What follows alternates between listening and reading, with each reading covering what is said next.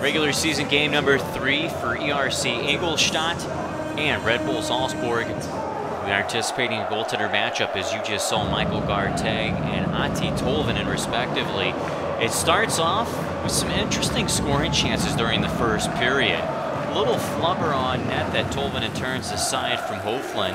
And then during a penalty kill, Ingolstadt's defenseman Mari Edwards sends one firing on net that knuckles and short hops right in front of Tolvanen and caught him in the left pad to remain a scoreless game. The best scoring chance of the period right here though. Ingolstadt again, that time Leon Hüttl, the defenseman sneaking in while on the man advantage, but just clang some iron. To the second period we go, and this is when the scoring begins. A shorthanded wraparound opportunity.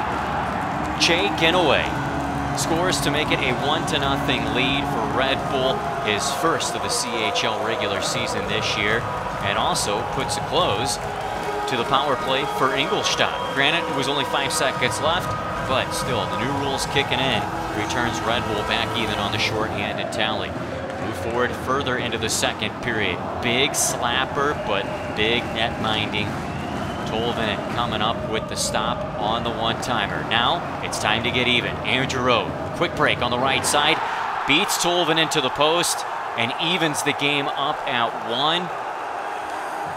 Andrew Rowe, a newcomer to Ingolstadt's team, making a great impression. His second goal of the CHL regular season. The scoring wasn't done in the period just yet. Travis St. Denis gaining entry into the zone. He finds Andrew Rowe yet once more his second goal of the game, third of the CHL regular season, getting ERC Ingolstadt up by one as you close out period number two and just a rifle upstairs. Moving into the third period, a lot of anxious moments and a turnover. Costly in front of the net. Ryan Murphy challenging, more poking and shoving, but nothing came through. That slash right there, though, from Fabio Wagner translated to a power play which Red Bull couldn't convert on. Good opportunity here. Casey Bailey and tight with the chance, but Tolvanen makes the save and slams the door shut halfway through the third period as he came up with the blocker save.